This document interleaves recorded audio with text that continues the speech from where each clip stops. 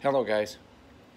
Uh, we're gonna hear a Lewis Hamilton audio interview.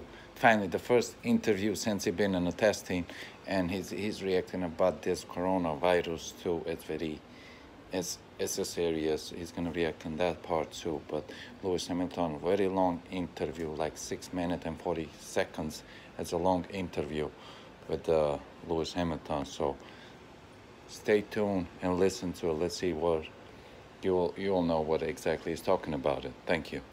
I think we found that we've got plenty of problems that uh, we're trying to iron out, and there's no, um, it's, I don't know how long they will take to, to iron out, but that's never a bad thing necessarily to to um, to discover discover them through testing. And um, but otherwise, I think our performance has been well uh, good in the sense of the amount of laps we've got, the mileage. Otherwise, apart from yesterday, and um, the actual process and the, the things that were discovered along the way. So I have no idea where we stand compared to others. I've not been the team probably will have a better idea of that, but uh, yeah. Uh, there's no relief because, as I said, I don't know where everyone else is. Um, I mean, I think I understand the car well, so I'm I'm um, comfortable and confident in terms of uh, getting in the car into in Melbourne and knowing that I'll be able to attack and extract extract the most from it. But whether that's going to be enough to be ahead of others, we'll find out.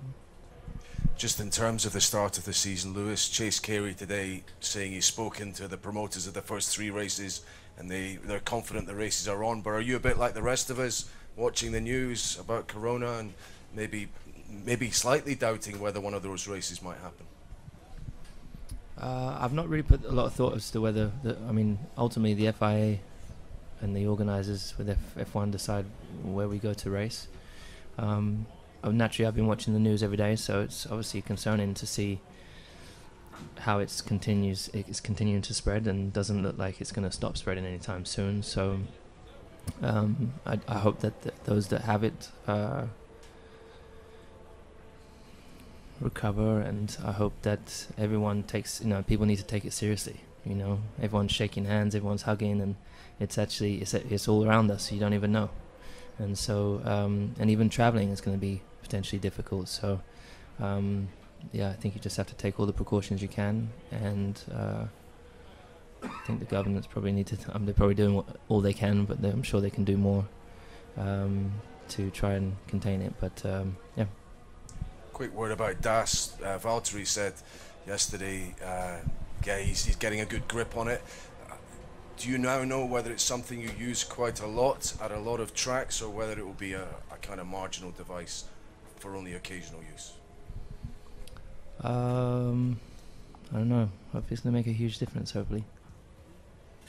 Lewis, do you think there is concern concern in the team about reliability issues that Mercedes uh, engines uh, have had in these uh, days? Is there concern? Yeah, yeah, for sure. Yeah. No, normally we would end this preseason testing with a bit a much more confidence in in the reliability. So it's not been perfect for us. I think we're on a third engine already, so or second, second or third engine. So um, it's definitely not an easy or relaxed scenario for us. But I have every confidence in the guys back at the factory that uh, they will analyze and do the best they can in these next two weeks to try and make sure we start off on the again on the right foot. Um, Ferrari has been uh, downplaying their chances, both Mattia, the drivers. Do you buy that? I mean, I'm not really. I don't.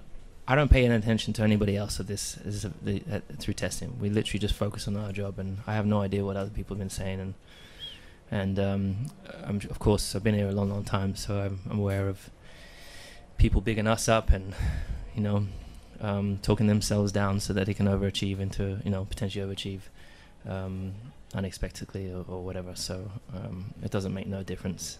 People they think they seem to think you know some people think that it's a psychological battle, but it's really not. Only for the weak-minded maybe, but for us, we it doesn't affect us whatsoever. So. Lewis, uh, you already told us that you don't care about Michael's numbers, but uh, to take a look to your numbers in these last six years is something very impressive, uh, and it seemed unreasonable for any driver to do so by back then when when, when they thought about the future. Uh, do you think uh, this will continue, and this puts a target on your back. Uh, talking about the other drivers that prepare themselves to get into a season. I've had a target. Oh, if if I was to look at it that way, I've had a target on my back since the day I won my first championship when I was 10 years old. So it's nothing new to me. Um, I've always been the only black driver there. I've always been generally at the front um, of, of championships, so it's no different to any of the 27 years of driving. So I'm quite comfortable in that space, and um, it's also um, it, it's al- almost um, what's the word when you um, it's a positive when people are targeting you and um, looking to try and beat you because you want everyone to be on their best perf- their their best um, on bring their A game. So when if you do manage to pull it off and you do f- finish ahead, it feels even better. If you look back, would you think it was reasonable to win so much in that span of time? De- uh, definitely not. I think I never really knew. Ultimately, I always kind of believed that kind of the sky's not really the limit, and um, but I never really knew exactly what we would what we would achieve. When I joined this team, I believe we would be winning at some stage. Um, did I think we would win as much as we have? Absolutely not. But um, I don't feel like it's a coincidence that we uh, that we have won as much as we have, because it's just uh, the, the whole organization, the whole team, every absolutely every individual.